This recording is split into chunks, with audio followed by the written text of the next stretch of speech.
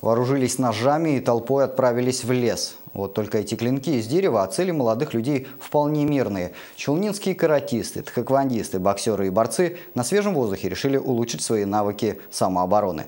Первое, с чего начали подготовку, это изучение атаки с ножом. Если знаешь, как происходит нападение, то сможешь ему противостоять. Заорали?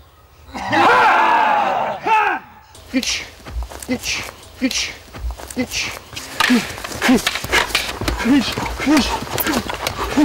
Гвозди бы делать из этих людей. Не было в мире лучше гвоздей. Этот армейский вид ножевого боя вышел из одного из стилей карате с очень длинным и сложным названием. Посвященные зовут его просто кои. Здесь важно все, от стойки до постановки руки. Нож нужно держать так, чтобы не повредить кисть во время схватки. Э, Нож он побыстрее руки.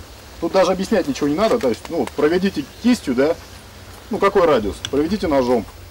Нож маневреннее, быстрее. Рустем Мухаммедшин 9 лет обучает обращению с клинком. Задача мастер-класса – ознакомить ребят с техникой хотя бы поверхностно. Это не атака, а оборона, поясняет боевая дружина. Хотя эти понятия взаимосвязаны. Ну, чтобы защищаться от ножа, надо понимать хотя бы, как он режет, да? Сейчас мы первую половину немножко посмотрим, что с ножом делать. Потом будем разбирать, как от него защищаться. Потому что ребят спортсмены, все нормально, но по городу ходят разные товарищи. Все хулиганы с ножом. Важный фактор – психологическая готовность. Как отразить атаку, так и самому нанести удар. Поэтому многие упражнения выполняются в паре и отрабатываются до синяков. Болезненно. Мне данный момент. Нет, вообще все классно.